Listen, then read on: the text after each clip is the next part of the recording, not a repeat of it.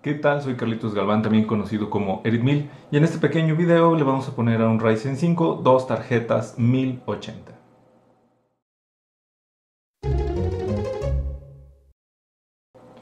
Bien, lo que vemos aquí en pantalla realmente es el equipo que vamos a estar utilizando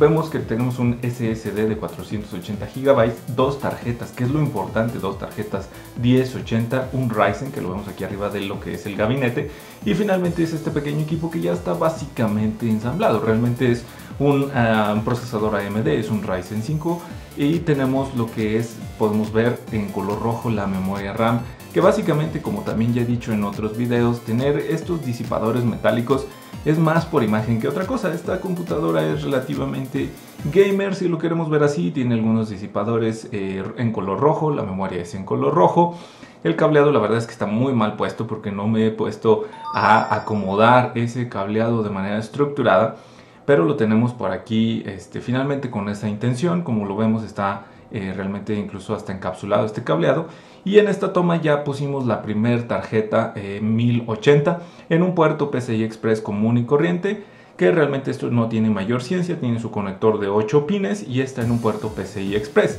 Aquí la parte interesante es ese pequeño puerto PCI Express que tenemos en la parte de arriba de la tarjeta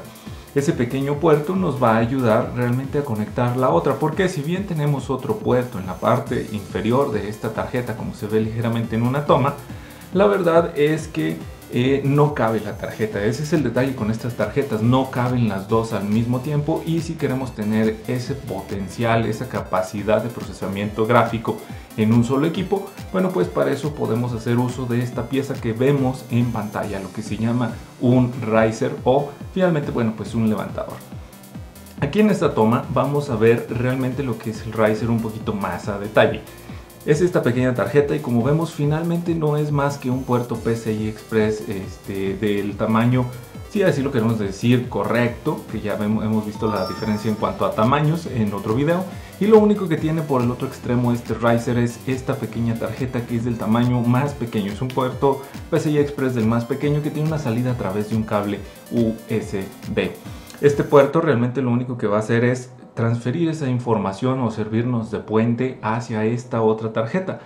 La única desventaja que podríamos mencionar, obviamente vamos a tener cierta pérdida en la velocidad, pero es que también necesitamos un conector adicional de alimentación tipo SATA, como lo vimos ahorita en pantalla. Podrás encontrar algunos con tipo Molex, pero la verdad es que a estas alturas la gran mayoría de las fuentes es más fácil que vayas a encontrar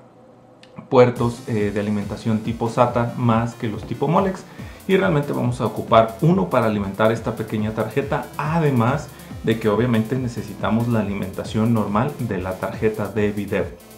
Una vez que tenemos conectado esta alimentación a, este, a este riser bueno lo que podemos hacer es ya simplemente conectar la tarjeta de video podemos ver que es una GTX 1080 la conectamos y la verdad es que eso es todo lo que tenemos que hacer. Obviamente, insisto, hay que alimentar también esa tarjeta con la entrada este, de, de 8 pines o en su caso si tú conectas un dispositivo más pequeño, bueno pues con los pines que sea necesario. El riser lo único que va a hacer es extenderte este eh, esta, eh, puerto para que lo puedas utilizar de esta manera, de manera independiente.